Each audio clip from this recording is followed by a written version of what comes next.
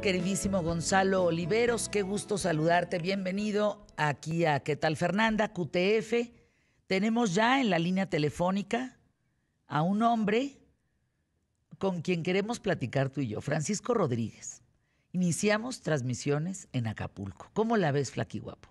Muy bien, hace mucho tiempo que queríamos estar en el puerto de Acapulco, una sociedad pujante, un, eh, eh, un, lugar en donde el turismo es el motor principal no solo del puerto, sino de casi todo el estado, entonces siempre es un gusto el poder estar en un sitio y en una ciudad en donde se tiene a gente muy ávida de información y más en un día como hoy en donde además de, de incorporarlo estamos celebrando 22 años de este concepto de comunicación, así que qué gusto tener a don Francisco Rodríguez en la línea aquí en Imagen Radio. Francisco, qué gusto saludarte, ¿cómo estás? Muchas gracias, buen día a todos, gracias Fernanda, ¿qué tal? ¿Cómo estás? Bien, pues aquí ya sabes en Acapulco, empezando actividades y por supuesto con esta con esta gran alianza que hicimos con, con Grupo Imagen, que ya suena aquí en Acapulco, ya, ya los escuchamos aquí en Acapulco y principalmente estos maravillosos programas como el tuyo que, que la gente de Acapulco, los ciudadanos de acá, ya están escuchando y, y eso nos da mucho gusto y créeme que es un gran esfuerzo, pero lo estamos logrando. Ya, ya dimos el primer paso y ahora lo que queremos es mantener el ritmo para que la gente siga bien informada con, con Imagen Radio. A ver, Francisco, platícanos un poco cómo es el tema de la radio en Guerrero. Porque hay localidades que tienen una radio que se siguen anunciando eh, lo que pasa de una familia en otra, ¿no?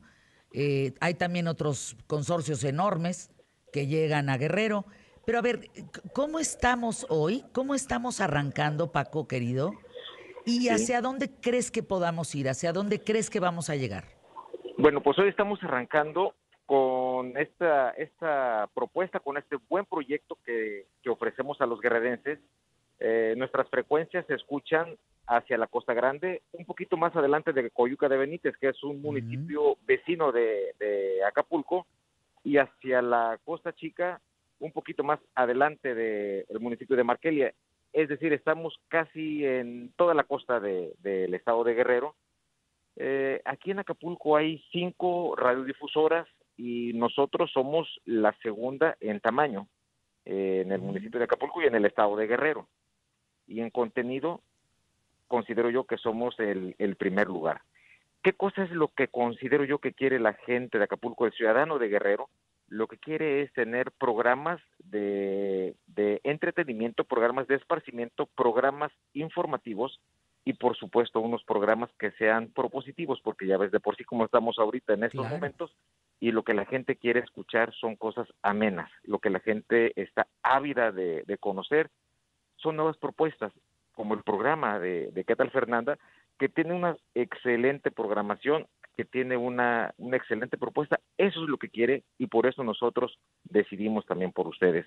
Por eso nosotros hicimos esta gran alianza, porque creemos y estamos bien seguros que con ustedes la gente en Guerrero va a estar bien informada y nos va a escuchar más. Gonzalo.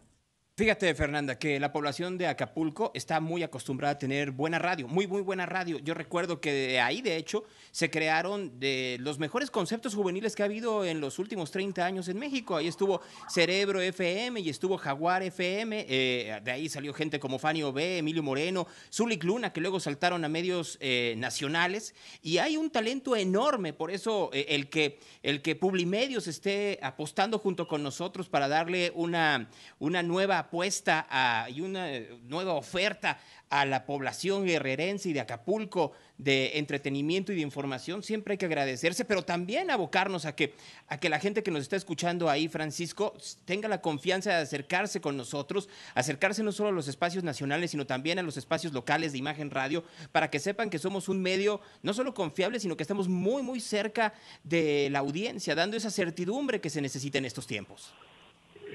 Así es, efectivamente eso es lo que queremos, tener esa, esa cercanía y generar esa confianza para que sepan que nosotros estamos haciendo bien las cosas y que somos una radio profesional a la altura de las necesidades de los guerrerenses y principalmente aquí de Acapulco, que es en el lugar eh, que, que más nos escuchamos en todo el municipio de Acapulco. Y es lo que queremos. Y nos vamos a esforzar, por supuesto, para que las cosas cada día sean mejores.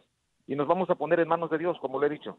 Desde el primer día que entramos al aire, nos ponemos en manos de Dios para que Él sea el que, el que nos guíe y por supuesto que estemos de acorde a las necesidades y los requerimientos que tiene el ciudadano. Eh, Paco, querido, ¿cómo, ¿cómo ves Acapulco? Porque también tienes una parte que tiene que ver con la política, te has desarrollado ampliamente en ese sector. ¿Cómo, cómo estás viendo tu, tu guerrero, tu Acapulco? ¿Cómo, cómo, ¿Cómo está todo por allá, Paco? ¿Qué retos fíjate hay? Que, fíjate que hoy Guerrero inicia una nueva etapa, una nueva época, porque hoy es gobernado por una mujer por primera vez en, en la historia de nuestro estado. La maestra Evelyn Salgado es la gobernadora y yo creo que hay amplias expectativas y que consideramos que va porque tiene esa sensibilidad también humana y esa sensibilidad para que la gente eh, tenga mejores condiciones de vida, mejores condiciones de trabajo y estoy seguro que puede ser un parteaguas de, en la vida política, en la vida pública del Estado, ya que hoy gobierna una mujer. Por supuesto que yo aplaudo esa situación, que una mujer tenga esta maravillosa oportunidad de gobernar este Estado, que también debemos decirlo, es un Estado nada fácil, es un Estado un poco complicado y hasta hoy lo ha estado haciendo bien.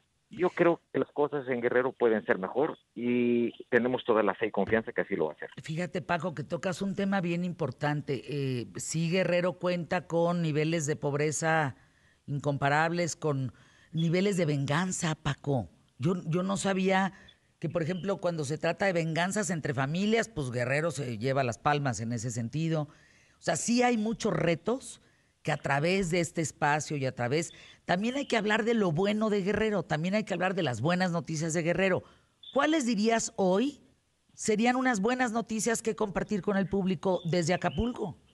Una de las buenas noticias es lo que acabamos de vivir la, la temporada decembrina, la temporada vacacional decembrina, que tuvimos una afluencia turística bastante importante, bastante significativa y principalmente que venimos del el año 2021 en el cual estuvo paralizado casi todo por el, la pandemia, pero en esta ocasión vimos que se, se, se regeneró, se reorganizó y tuvimos la pirotecnia muy bonita que organizó el gobierno del estado precisamente y considero que esa es una de las principales eh, cosas que podemos ver ahora lo que nos espera para Acapulco, yo creo que tienen que hacer una promoción turística importante y de esa manera, pues hacer atractivo nuestro, nuestro destino para que la gente venga a visitarnos.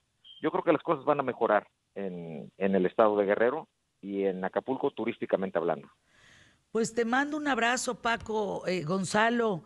Pues pie derecho, caray. Ver, que... antes, antes de que cuelgue Francisco, yo, yo tengo dudas gastronómicas. A ver, si voy a Acapulco hoy, ¿Dónde como y dónde ceno? Ay, hermano, hay muchísimos lugares a los que puedes ir, pero te voy a, de, a recordar algo, por ejemplo. El pescado a la talla es algo tradicional de, de acá de, del municipio de, Acapulco, sí, sí. en la zona de Barra Vieja, en la zona del Labonfil.